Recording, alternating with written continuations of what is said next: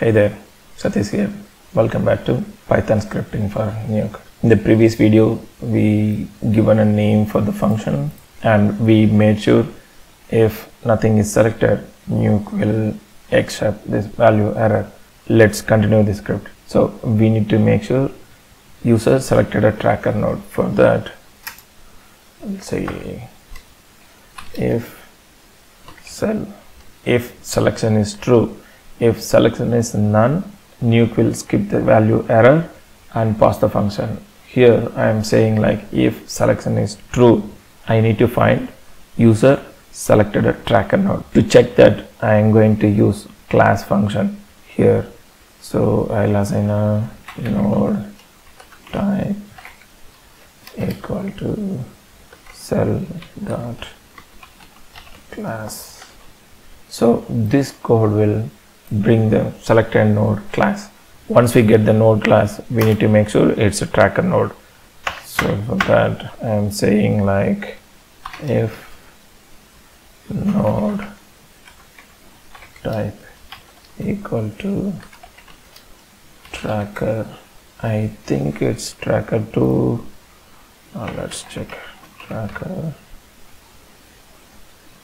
node and and to print new new dot select dot class and then run this one. Uh, it's tracker 4 so here I need to use tracker 4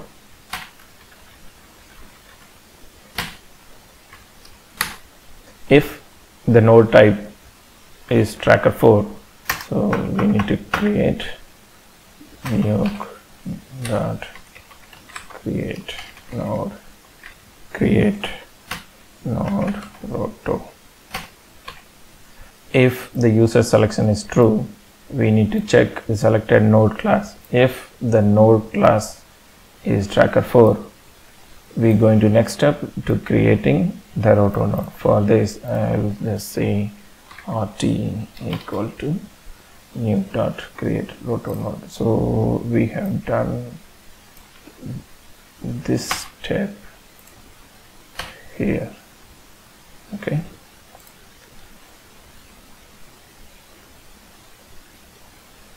And this step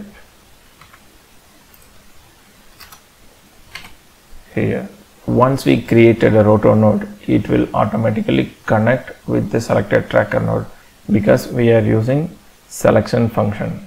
So it will break the nuke script. So we need to make sure the created roto node not connecting with any selected roto node or any node in the script. So set input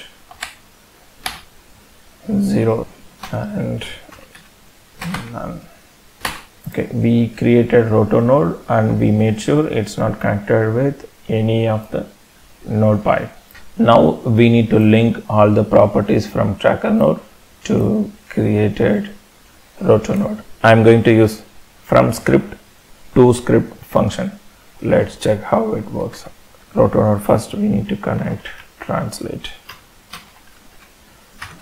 Translate from from script we need to tell the nuke from which node. So we need to copy the properties from the selected node. So cell translate dot to script.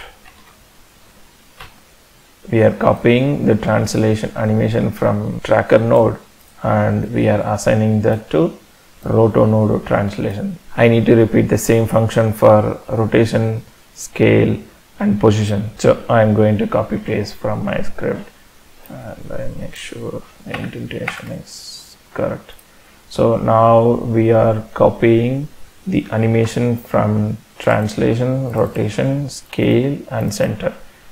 So we given a name for this function and we make sure new passing this no node selection error and we made sure user selected a node. If user selected a node we checked the node is a tracker for node. Once the tracker for node is selected we created a new roto node and we made sure the input is not connected with any other pipes. Copy pasted the animation from translation rotation scale and center so this script pretty much do what users want. I am finishing this video here. I hope you guys enjoy. If you have any questions or any doubt just comment in the comment section. I'll reply on that one. See you guys next week. Until then peace